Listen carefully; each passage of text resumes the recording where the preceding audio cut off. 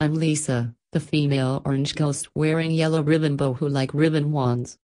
He is Ken's love interest.